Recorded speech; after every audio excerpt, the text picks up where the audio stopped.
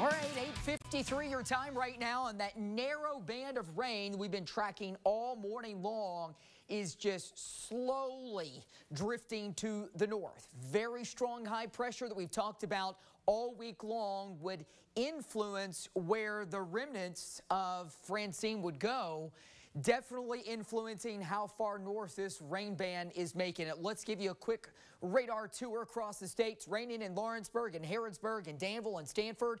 Basically all of Garrard, all of Madison, all of Jessamine, southern Fayette, southern Clark County, Estill County, and over into Jackson and Rockcastle, all dealing with rain. Now we go farther into southeast Kentucky, a scattering of some lighter showers near Hazard. That's likely just some light rain into portions of Leslie, portions of Clay, north of London. Uh, a little bit of shower activity, but it's dry now in Somerset and Corbin and down at the Kentucky-Tennessee state line. And then northeast of that, it's dry. Look at the last 24 hours. These rain gauges tell the story. Southern Fayette County, down by the Fayette Mall, two tenths of an inch. Spindletop, Zippo, okay? Northeastern Fayette County, northeastern parts of Lexington even, no rain over toward Bryan Station, none.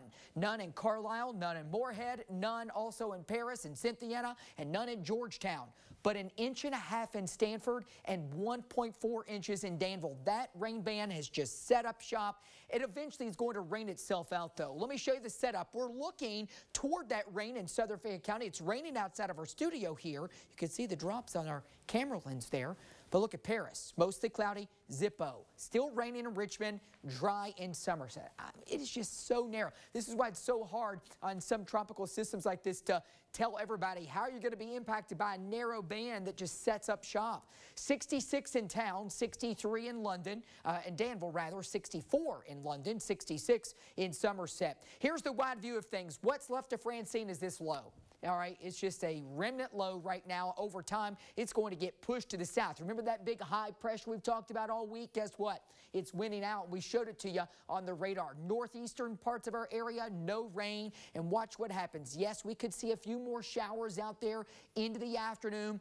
Saturday, maybe an isolated shower or two, but Sunday, the high winds out, and that means a mostly dry weekend. We'll show it to you here. Some scattered showers today, maybe some isolated showers this evening. Into the weekend, though, Sunday is trending much drier.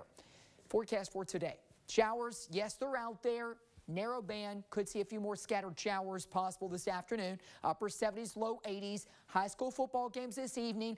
They are trending drier. I still have an isolated shower or two in the forecast, but it is looking much drier than what this morning is. That's for sure. Isolated shower chance tonight, mostly cloudy. If you're going to Kroger Field tomorrow evening, that forecast has trended much much drier. And we talked about it yesterday that the best rain chance was indeed going to be south and southwest of Lexington. You know what? That's been the case. Mm -hmm. And that trend gets drier for the weekend. Oh, well,